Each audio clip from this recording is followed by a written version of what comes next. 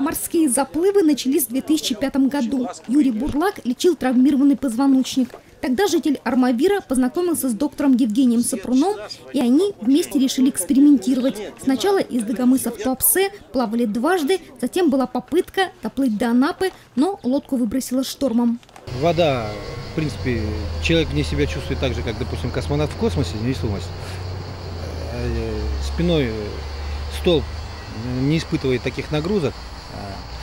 И, соответственно, там происходит вытяжка позвоночника. Ну и надо как бы помочь. Поэтому мы решили цеплять лодку ко мне к талии.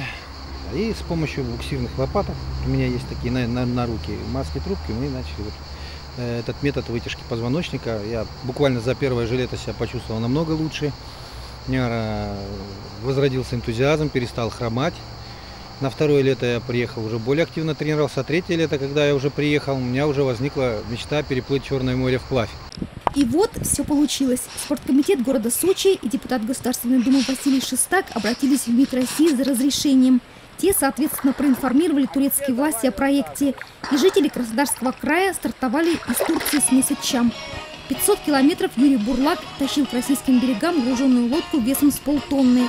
10 часов в воде, соответственно, с перерывами на завтрак, обед и ужин, и 10 часов на отдых. Остальное время свободное.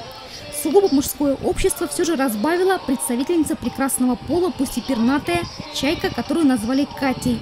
Пловец-экстремал пытался завести дружбу и черноморскими дельфинами. Я там пытался в трубку гудеть, пыхтеть, чтобы они ко мне подошли. Бесполезно. Но когда я находился в плоту с Евгением, а под нашим плотом собиралась куча рыбы, тогда они ее там здорово гоняли и питались. И я засовывал фотоаппарат свой в воду и снимал. У меня кадры такие есть, как дельфины. Вот. А один дельфин подплыл прям носом, мне фотоаппарат ткнулся. Посмотрел.